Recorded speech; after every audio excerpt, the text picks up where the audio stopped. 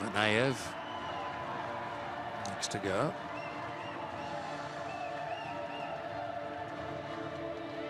Just looks so confident, doesn't he? Let me at it. Yeah, yeah, and some people have that aura, don't they? And, uh, he's got that, that's for sure.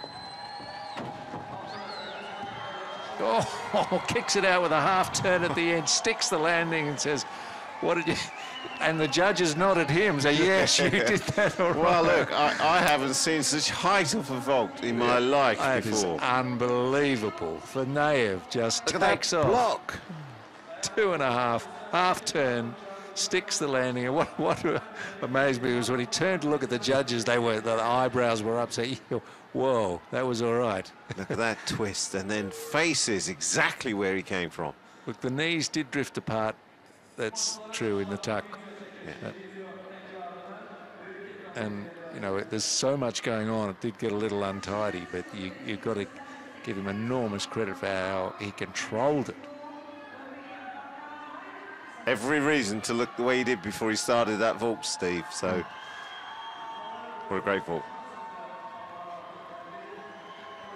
And uh, he'll be He's got a second one coming, and 15.466 for the first.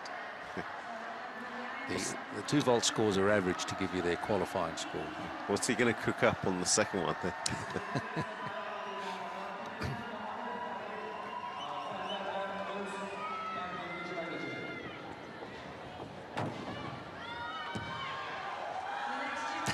well, he didn't quite stick the landing, but uh, he's uh, still impressed, and I think he's going to be